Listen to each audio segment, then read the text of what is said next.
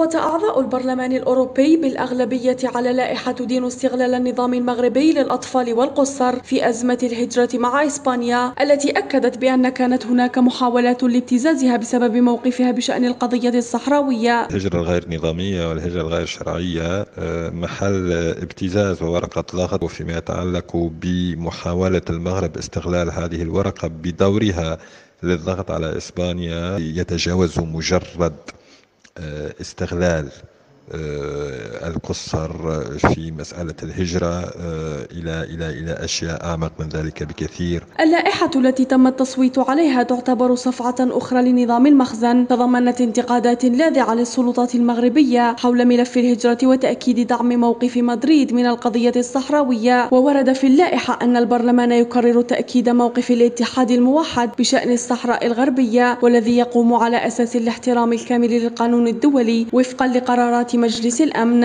آه، لا يمكن أن ندين الاحتلال في فلسطين ونقبل الاحتلال فقط لأن البلد المحتل هو آه، شريك في القومية أو شريك في آه، التاريخ.